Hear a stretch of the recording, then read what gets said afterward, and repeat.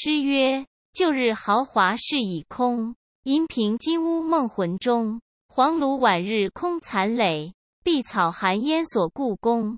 隧道余灯犹欲尽，妆台鸾镜霞长风。凭谁画尽兴王事？一纳闲云两袖风。”话说韩道国与王六儿归到谢家酒店内，无女儿，道不得各坐吃山崩。使陈三儿去，又把那河官人勾来续上。那河官人见地方中没了刘二，除了遗害，依旧又来王六儿家行走，和韩道国商议：你女儿爱姐，只是在府中守孝，不出来了。等我卖尽货物，讨了赊账，你两口跟我往湖州家去吧，省。得在此做这般道路，韩道国说：“官人下顾，可知好利。一日卖尽了货物，讨上赊账，雇了船，同王六儿跟往湖州去了。不提，却表爱姐在府中，与葛翠萍两个持贞守节，姊妹称呼，甚是何当。白日里与春梅作伴儿在一处。”那时金哥儿大了，年方六岁；孙二娘所生玉姐年长十岁，相伴两个孩儿，便没甚事做。谁知自从陈静济死后，守备又出征去了。这春梅每日珍馐百味，绫锦衣衫，头上黄的金，白的银，圆的珠，光照的无斑不有。只是惋惜。南晋独眠孤枕，欲火烧心。因见李安一条好汉，只因打杀张胜，寻风早晚十分小心。一日冬月天气，李安正在班房内上宿，忽听有人敲后门，忙问道：“是谁？”只闻叫道：“你开门则个。”李安连忙开了房门，却见一个人抢入来。闪身在灯光背后，李安看时，却认得是养娘金匮。李安道：“养娘，你这咱晚来有甚事？”金匮道：“不是我私来，里边奶奶差出我来的。”李安道：“奶奶叫你来怎么？”金匮笑道：“你好不理会的，看你睡了不曾，教我把一件物事来与你。”向背上取下一包衣服，把与你包内又有几件妇女衣服与你娘。前日多累你押解老爷行李车辆，又救的奶奶一命，不然也吃张胜那厮杀了。说毕，留下衣服，出门走了两步，又回身道：“还有一件要紧的。”又取出一锭五十两大元宝来。瞥于李安自去了，当夜踌躇不决。次早起来，竟拿衣服到家与他母亲做娘的问道：“这东西是那里的？”李安把夜来事说了一遍。做母亲的听言叫苦。当初张胜干坏事，一百棍打死他。今日把东西与你，却是什么意思？我今六十以上年纪。自从没了你爹爹，满眼只看着你。若是做出事来，老身靠谁？明早便不要去了。李安道：“我不去。”他使人来叫，如何答应？婆婆说：“我只说你感冒风寒病了。”李安道：“终不成不去，惹老爷不见怪吗？”做娘的便说：“你且投到你叔叔。”山东夜叉李贵那里住上几个月，再来看事故何如？这李安中是个孝顺的男子，就依祝娘的话，收拾行李往青州府投他叔叔李贵去了。春梅以后见李安不来，三四五次使小半当来叫婆婆初时答应家中染病，此后见人来验看。才说往原籍家中讨盘缠去了，这春梅终是恼恨在心不提。时光迅速，日月如梭，又早腊晋阳回。正月初旬天气，统治领兵一万三千，在东昌府屯驻已久。使家人周中烧书来家，叫班取春梅、孙二娘，并金戈、玉姐家小上车，只留下周中。东庄上请你二爷看守宅子。原来统治还有个族弟周宣，在庄上住。周中在府中，与周宣、葛翠萍、韩爱姐看守宅子。周仁宇众军老保定车辆往东昌府来，此一去，不为身民离故土，争之此去少回城。有词一篇，单道周统治果然是一员好将才。当此之时，中原荡扫，治欲吞胡，但见四方道起如屯风，狼烟烈焰熏天红。将军一怒天下安。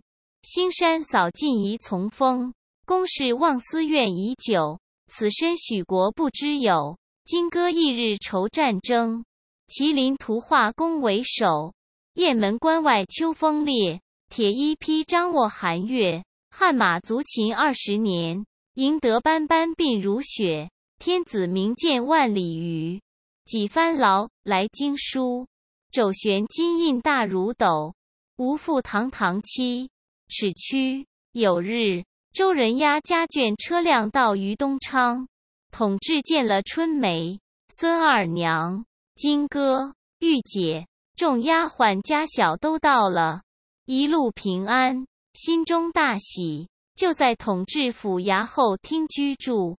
周仁熙把东庄上请了二爷来宅内，同小的老子周中看守宅舍，说了一遍。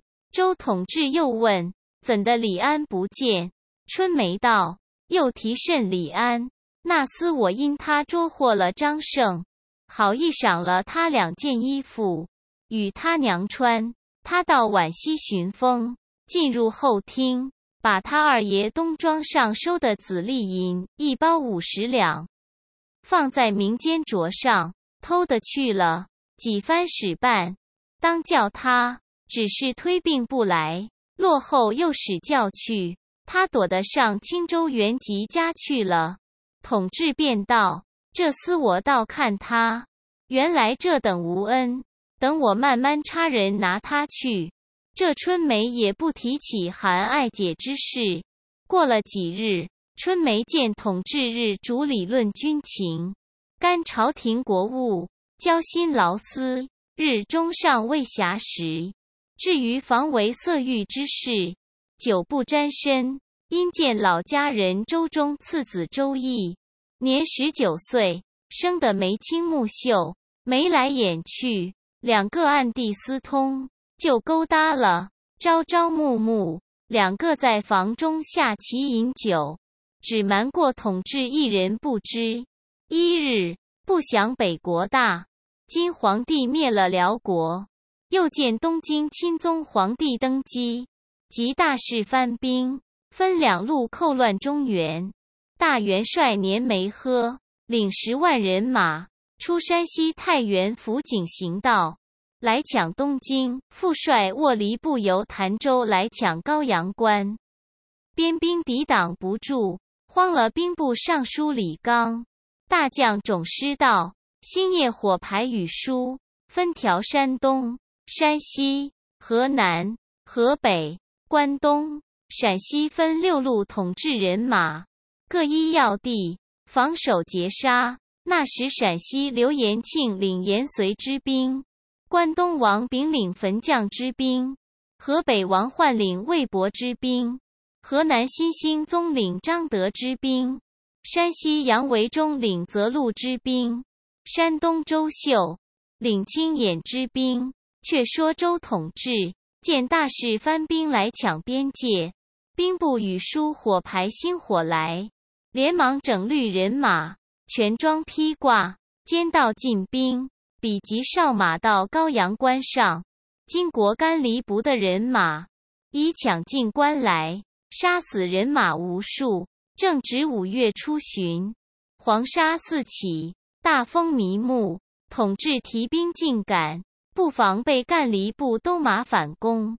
梅丘一箭，正射中咽喉，随马而死。众番将就用钩索搭去，被这边将士向前紧抢失守，马带而远，所伤军兵无数。可怜周统治一旦阵亡，亡年四十七岁。正是余家为国忠良将，不便咸鱼。血染沙，古人亦不尽。作诗一首，以叹之曰：“胜败兵家不可欺，安危端自命为之。出师为洁身先丧，落日江流不胜悲。”巡抚张叔夜见统治没于镇上，连忙鸣金收军，查点折伤士卒，退守东昌。星夜奏朝廷，不在话下。部下士卒在失守，还到东昌府。春梅何家大小，嚎哭洞天。和棺木盛殓，交割了兵符印信。一日，春梅与家人周人发丧在灵柩归清河县不提。话分两头，单表格翠萍与韩爱姐。自从春梅去后。两个在家清茶淡饭，守节持贞。过其日月，正值春尽夏初天气，景物鲜明，日常针指困倦。姊妹二人闲中徐步，到西书院花亭上，见百花盛开，莺啼燕语，触景伤情。葛翠萍心还坦然，这韩爱姐一心只想念陈静寂。凡事无情无绪，睹物伤悲，不觉潸然泪下。姊妹二人正在悲戚之际，只见二爷周宣走来劝道：“你姊妹两个少要烦恼，须所解叹。我连日做的梦，有些不吉。梦见一张弓挂在旗杆上，旗杆折了，不知是凶是吉。”韩爱解道。道只怕老爷边上有些说话，正在犹疑之间，忽见家人周人挂住一身孝，慌慌张张走来，报道：或是老爷如此这般，五月初七日在边关上阵亡了。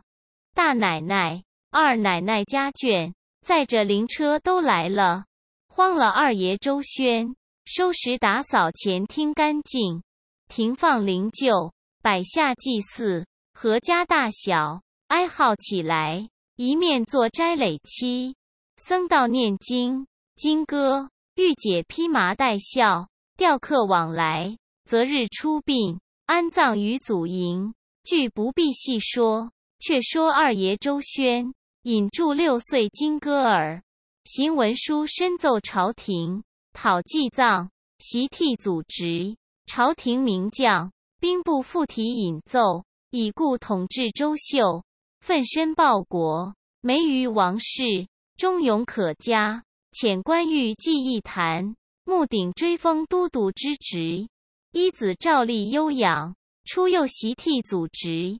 这春梅在内颐养之余，因情愈盛，常留周易在香阁中。阵日不出，朝来暮往，淫欲无度，生出骨蒸劳病症。逐日吃药，减了饮食，消了精神，体瘦如柴，而贪淫不已。一日过了他生辰，到六月伏暑天气，早晨宴起，不料他搂着周易在床上，一泻之后，鼻口皆出凉气。银金留下一洼口，救民乎哀哉！死在周易身上，亡年二十九岁。这周易见没了气儿，就慌了手脚，向箱内抵到了些金银细软，带在身边，逃走出外。丫鬟养娘不敢隐匿，报与二爷周宣得知，把老家人周中锁了，押住抓寻周易。可煞作怪，正走在城外他姑娘家头住，一条锁子拴将来，已知其情，恐扬出丑去。今歌酒后不可袭职，拿到前厅，不由分说，打了四十大棍，及时打死，把金戈与孙二娘看着，一面发丧于祖营，与统治合葬毕，房中两个养娘并海棠、月桂。都打发各寻头向嫁人去了，只有葛翠萍与韩爱姐再三劝他不肯前去。一日，不想大金人马抢了东京汴梁，太上皇帝与靖康皇帝都被掳上北地去了。中原无主，四下慌乱，兵戈匝地，人民逃窜，梨树有涂炭之哭。百姓有倒悬之苦，大事藩兵已杀到山东地界，民间夫逃妻散，鬼哭神嚎，父子不相顾。葛翠萍已被他娘家领去，各逃生命，只丢下韩爱姐，无处依倚，不免收拾行装，穿着随身惨淡衣衫，出离了清河县，前往临清找寻他父母。到临清谢家店，店也关闭，主人也走了，不想撞见陈三儿。三儿说：“你父母去年就跟了何官人往江南湖州去了。”这韩爱姐一路上怀抱月琴，唱小词曲，往前抓寻父母，随路饥餐渴饮，夜住小行，茫茫如丧家之犬。急急如漏网之鱼，弓鞋又小，千辛万苦行了数日，来到徐州地方。天色晚了，投在孤村里面。一个婆婆年纪七旬之上，正在灶上煮米造饭。这韩爱姐便向前到了万福，告道：“奴家是清河县人士，因为慌乱，前往江南投亲。”不期天晚，全借婆婆这里投宿一宵，明早就行。房金不少。那婆婆看这女子不是贫男，人家婢女，生的举止典雅，容貌非俗。因说道：“既是投宿，娘子请炕上坐，等老身造饭，有几个挑和夫子来吃。”那老婆婆炕上柴灶。当时做出一大锅拜倒插豆子干饭，又切了两大盘生菜，搓上一包盐。只见几个汉子，都蓬头精腿，坤裤兜裆，脚上黄泥，进来放下敲诀，便问道：“老娘有饭也喂。”婆婆道：“你每次去盛吃，当下各取饭菜，四散正吃。”只见那一人。约四十四五年纪，紫面黄发，便问婆婆：“这炕上坐的是什么人？”婆婆道：“双引号，此位娘子是清河县人士，前往江南寻父母去，天晚在此投宿。”那人便问娘子：“你姓什么？”爱姐道：“奴家姓韩，我父亲名韩道国。”那人向前扯住问道：“姐姐，你不是我侄女韩爱姐吗？”那爱姐道：“你倒好似我叔叔韩二，两个抱头相哭坐一处。”因问：“你爹娘在那里？你在东京，如何至此？”这韩爱姐一五一十，从头说了一遍。因我嫁在守备府里，丈夫没了。我守寡到如今，我爹娘跟了何官人往湖州去了。我要找寻去，慌乱中又没人带去，胡乱单身唱词，觅些衣食前去，不想在这里撞见叔叔。那韩二道：自从你爹娘上东京，我没营生过日，把房儿卖了，在这里挑河做夫子。每日觅晚饭吃。既然如此，我和你往湖州寻你爹娘去。爱姐道：“若是叔叔同去，可知好利。”当下也剩了一碗饭。与爱姐吃。爱姐呷了一口，见粗饭不能咽，只呷了半碗，就不吃了。一宿晚景提过，到次日道明，众夫子都去了。韩二交纳了婆婆房钱，领爱姐作辞出门，望前途所尽。那韩爱姐本来娇嫩，弓鞋又小，身边带着些细软差书。都在路上零碎盘缠，将到淮安上船，以威望江南湖州来。非止一日，抓寻到湖州和官人家，寻着父母相见会了。不想和官人已死，家中又没妻小，只是王六儿一人，丢下六岁女儿，由急请水稻田地。不上一年，韩道国也死了。王六儿原与韩二舅有扎儿，就配了小叔，种田过日。那湖州有富家子弟，见韩爱姐生的聪明标致，都来求亲。韩二再三教她嫁人，爱姐割发悔目，出家为尼，是不再配他人。后来至三十一岁，无疾而终。正是真骨未归三尺土。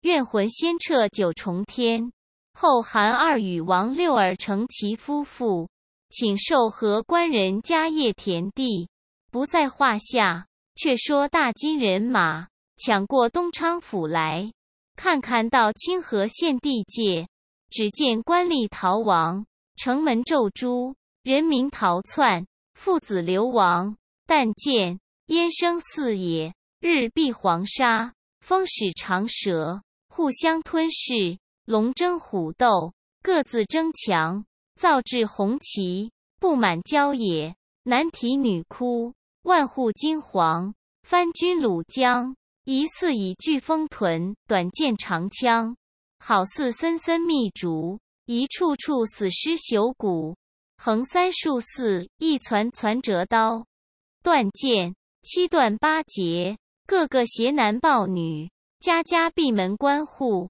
十室九空，不显乡村城郭，张奔鼠窜，纳气礼乐衣冠，正是得多少宫人红袖哭，王子白衣行。那时吴月娘见番兵到了，家家都关锁门户，乱窜逃去，不免也打点了些金珠宝玩，带在身边。那时吴大舅已死。只同吴二舅戴安、小玉领着十五岁孝哥儿，把家中前后都到锁了，要往济南府投奔云里守。一来避兵，二者与孝哥玩旧亲事。一路上只见人人慌乱，个个惊骇。可怜这吴月娘，穿着随身衣服，和吴二舅男女五口。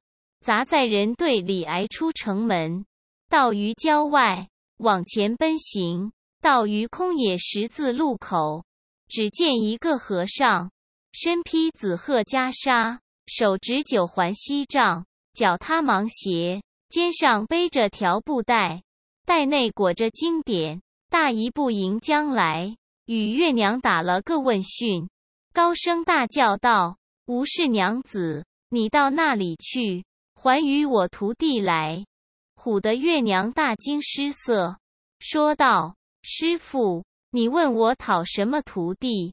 那和尚又道：“娘子，你休推睡里梦里。你曾记得十年前，在待月东风，被燕天锡赶到我山洞中投宿，我就是那雪洞老和尚，法号普净。你许下我徒弟。”如何不与我？吴二舅便道：“师傅出家人，如何不尽道？此等慌乱年成，乱窜逃生。他有此孩儿，酒后还要接待香火，他肯舍与你出家去？”和尚道：“你真个不与我去？”吴二舅道：“师傅，你休闲说，误了人的去路，后面只怕番兵来到。”朝不保木，和尚道：“你既不与我徒弟，如今天色已晚，也走不出路去。番人就来，也不到此处。你且跟我到这寺中歇一夜，明早去吧。吴月娘问师傅：“是那寺中？”那和尚用手指一指，道：“那路旁便是。”和尚引住来到永福寺，吴月娘认的是永福寺。曾走过一遭，比及来到寺中，长老僧众都走去大半。只有几个禅和尚在后边打坐，佛前点着一大盏琉璃海灯，烧看一炉香，已是日色闲山时分。当晚，吴月娘与吴二舅、戴安、小玉、笑歌儿男女五口儿投宿在寺中方丈内。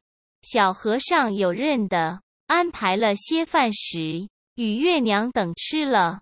那普净老师家夫在禅堂床上敲木鱼，口中念经。月娘与笑歌儿、小玉在床上睡。吴二舅和戴安坐一处，住了慌乱辛苦底人都睡着了，只有小玉不曾睡熟，起来在方丈内打门缝内看那普净老师傅念经，看看念至三更时。只见金风凄凄，斜月蒙蒙，人烟寂静，万籁无声。佛前海灯，半明不暗。这普净老师见天下慌乱，人民遭劫，阵亡横死者极多，发慈悲心，施广惠力。李白佛言，见拔幽魂，解释宿冤，绝去挂碍，各去超生。于是诵念了百十遍解冤经咒，少顷，阴风凄凄，冷气飕飕，有数十被焦头烂额、蓬头泥面者，或断手折臂者，或有枯腹弯心者，或有无头跛足者，或有吊颈枷锁者，都来悟领禅师经咒，列于两旁。禅师便道：“你等众生。”冤冤相报，不肯解脱，何日是了？汝当谛听无言，随方脱化去吧。既曰：劝尔莫结冤，冤深难解结。一日结成冤，千日解不彻。若将冤解冤，如汤去泼雪。我见结冤人，尽被冤魔折。我今此忏悔，各把信物撤，照见本来心。冤签自然雪，仗此经历深，剑拔诸恶业，汝当各脱生，再勿将冤结。当下众魂都拜谢而去。小玉切看，都不认得。少请，又一大汉进来，身长七尺，形容魁伟，全装贯甲，胸前关着一矢剑，自称统治周秀，因与番将对敌。折于镇上，今蒙师剑拔，今往东京，托生于沈敬为次子，名为沈守善去也。言未已，又一人，素体容身，口称是清河县富户西门庆，不幸溺血而死。今蒙师剑拔，今往东京城内，托生富户沈通为次子沈月去也。小玉认的是他爹。唬得不敢言语，已而又有一人提着头，浑身皆血，自言是陈敬济，因被张胜所杀，蒙师经弓箭拔，今往东京城内，与王家为子去也。已而又见一妇人，也提着头，胸前皆血，自言奴是武大妻西门庆之妾潘氏是也。不幸被仇人武松所杀，蒙师剑拔，今往东京城内离家为女托生去也。已而又有一人，身躯矮小，面背青色，自言是武直，因被王婆娑潘氏下药吃毒而死。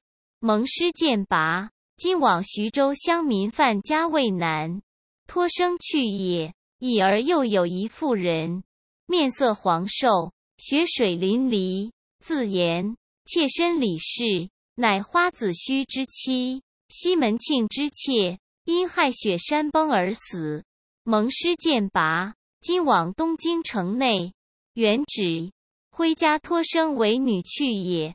已而又一男，自言花子虚，不幸被妻气死。蒙师剑拔，今往东京正千户家托生为男。已而又见一女人，颈缠脚带，自言西门庆家人来望妻送事，自缢身死。蒙师剑拔。今往东京朱家为女婿也，已而又一妇人，面黄肌瘦，自言周统治妻庞氏春梅，因色劳而死。蒙师剑拔，今往东京与孔家为女，托生去也。已而又一男子，裸形披发，浑身杖痕，自言是打死的张胜。蒙师剑拔。今往东京大兴为贫人高家为男去也。已而又有一女人向上缠着锁子，自言是西门庆妾孙雪娥，不幸自缢身死。蒙师剑拔，今往东京城外贫民姚家为女去也。已而又一女人年小向缠脚带，自言西门庆之女，陈静济之妻。西门大姐是也，不幸亦亦身死。蒙师剑拔，今往东京城外，与翻译中贵为女，托生去也。已而又见一小男子，自言周易，亦被打死。蒙师剑拔，今往东京城外高家为男，名高留柱儿，托生去也。言毕，各恍然不见。小玉唬得站立不已。原来这和尚只是和这些鬼说话，正欲向床前告诉吴月娘，不料月娘睡得正熟，一灵真性，同吴二舅众男女，身带着一百颗狐珠，一柄宝石绦环，前往济南府，投奔亲家云里守，一路到于济南府，询问到云参江寨门，通报进去。云参将听见月娘送亲来了，一见如故，续毕礼数。原来新晋没了娘子，央美邻舍王婆来陪待月娘，在后堂酒饭，甚是丰盛。吴二舅戴安令在一处管待，因说起避兵救亲之事，因把那百颗胡珠、宝石、绦环教与云里守。全为查理，云里守收了，并不言其救亲之事。到晚，又叫王婆陪月娘一处歇卧，将言说念月娘，以挑探其意。说云里守虽武官，乃读书君子，从歌山今之时，就留新娘子，不欺夫人没了，官居至今，今据此山城。虽是任小，上马管军，下马管民，生杀在于掌握。娘子若不弃，愿成伉俪之欢，一双良好，令郎亦得携秦晋之配，等待太平之日，再回家去不迟。月娘听言，大惊失色，半晌无言。这王婆回报云里寺，次日夕晚，置酒后堂。请月娘吃酒，月娘只知他与孝哥儿玩亲，连忙来到席前续坐。与你守乃道：“嫂嫂不知，下官在此虽是山城，管着许多人马，有的是财帛衣服、金银宝物，缺少一个主家娘子。下官一向思想娘子，如喝思浆，如热思凉。”不想今日娘子到我这里与令郎完亲，天赐姻缘，一双良好，成其夫妇，在此快活一世，有何不可？月娘听了，心中大怒，骂道：“晕离手，谁知你人皮包住狗骨？我过世丈夫，不曾把你轻待，如何一旦出此犬马之言？”云里手笑嘻嘻向前，把月娘搂住，求告说：“娘子，你自家中如何走来我这里作甚？自古上门买卖好做，不知怎的，一见你，魂灵都被你摄在身上，莫奈何。好歹完成了罢。”一面拿过酒来和月娘吃。月娘道：“你前边叫我兄弟来，等我与他说句话。”云里守笑道：“你兄弟和戴安二小厮已被我杀了，即令左右取那件物事与娘子看。”不一时，灯光下，雪莉莉提了吴二舅、戴安两颗头来。唬得月娘面如土色，一面哭倒在地，被云里手向前抱起。娘子不须烦恼，你兄弟已死，你就与我为妻。我一个总兵官，也不玷辱了你。月娘自私道：“这贼汉将我兄弟家人害了命，我若不从，连我命也丧了。”乃回嗔作喜，说道。你须依我，奴方与你做夫妻。云里守道，不拘甚事，我都依。月娘道：“你先与我孩儿完了房，我却与你成婚。”云里守道，不打紧，一面叫出云小姐来，和笑歌儿推在一处，饮合锦杯，挽同心结，成其夫妇。然后扯月娘和他云雨。这月娘却拒阻不肯，被云里手愤然大怒，骂道：“贱妇，你轰得我与你儿子成了婚姻，敢笑我杀不得你的孩儿！”向床头提剑，随手而落，血溅数步之远。正是三尺利刀柱向上，满腔鲜血湿模糊。月娘见砍死孝歌儿，不觉大叫一声。不想撒手惊觉，却是南柯一梦，唬得浑身是汗，遍体生津，连道：“怪哉，怪哉！”小玉在旁，便问：“奶奶怎的哭？”月娘道：“世间做的一梦不祥，不免告诉小玉一遍。”小玉道：“我到刚才不曾睡着。”悄悄打门奉见那和尚，原来和鬼说了一夜话。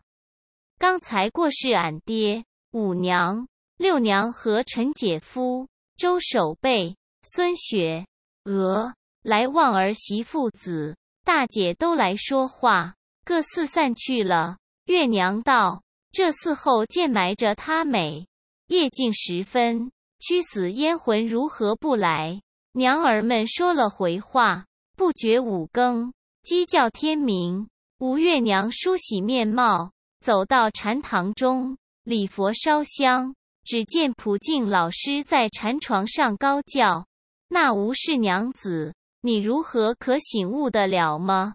这月娘便跪下参拜，上告尊师：“弟子无事，肉眼凡胎，不知师父是一尊古佛。”世间一梦中都已醒悟了。